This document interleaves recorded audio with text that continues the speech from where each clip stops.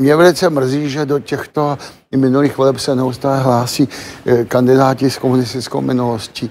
Mm, sorry, ale je to jako v Německu, kdyby se po 33 letech eh, od konce druhé světové války hlásili bývalí nacisté a ještě k tomu spolupracovníci eh, třeba gestapa. No, je to něco naprosto neuvěřitelného až směšného. Já